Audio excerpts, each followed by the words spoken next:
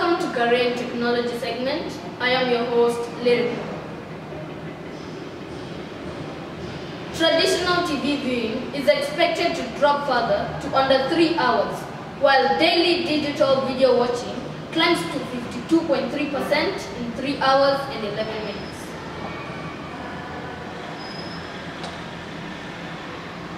Audience prefer watching digital videos on platforms such as Netflix, TikTok, and YouTube, rather than watching traditional TV, thus spending more time on these platforms using their smartphones, whether it's an immersed drama or a viral clip. Live sporting are all contributing to the shift from traditional TV. Watching Insider Intelligence Principal Paul Verna said in a release. Given teens' preferences for social and streaming video over TV, we can expect these trends to continue to shift in favor for digital. Thanks all for watching. Till we meet next week. Bye. My name is Lyric Mugo, hosting Career and Technology segment.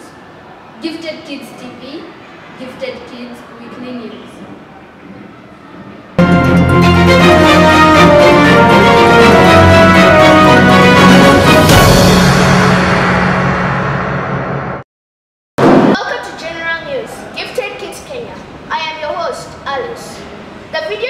TikTok, which had more than 1 billion monthly active users as of the last quarter of 2022, reportedly wants to grow its user base by attracting older users.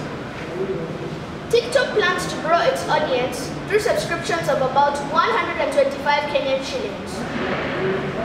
With the Creator Fund 2.0, Insiders told the information that TikTok plans to pay out more to creators by raising the requirements for being eligible participate in the fund for 100,000 followers and plans to pay out to, to users who make longer videos.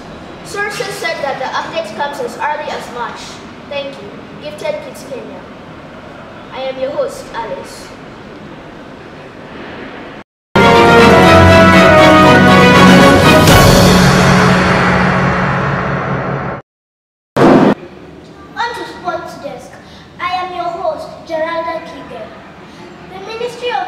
Education has released extracurriculum activities for the year 2023.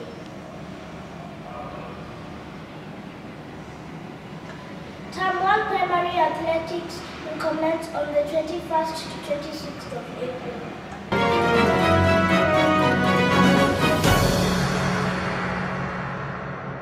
Welcome to Gifted Kids TV. My name is Ladan Mora. Last week we had swimming gala. Blue team won.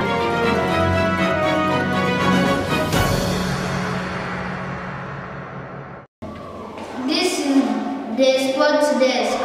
I am your host, Brian Salaton. Last week, Wednesday, there was a match between Brookhaven Schools and Amana Elementary. Amana Elementary lost 2 0. This is all Sports Desk.